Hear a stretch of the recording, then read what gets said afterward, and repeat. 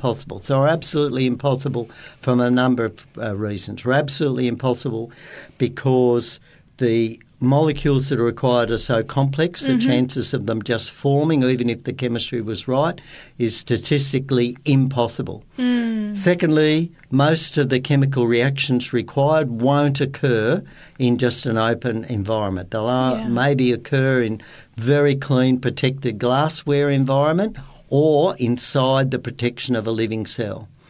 Um, most, uh, again, the reactions often require specific catalysts or enzymes to be available to be in the right location at, at that particular time. Uh, we have specific conformation of the chemistry of these molecules.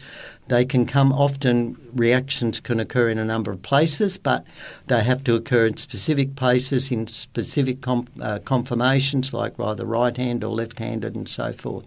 So the constraints in forming these molecules